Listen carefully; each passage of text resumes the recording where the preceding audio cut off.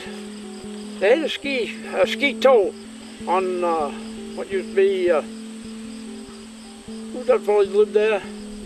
Guy Smith. Guy Smith, yeah, Guy Smith place. Up in back there was a, on, that- on that steep hill there, they had a ski tow there. It run with an old, some old Ford engine or something up the top of the hill. Used to pull a rope up there.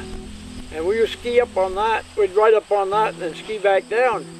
But uh, at the same time, I just got out of the service and I wasn't too handy on my skis, so the, these guys from Colebrook had been skiing all the time up here. They were, they were complaining about me falling down and making holes in the trail.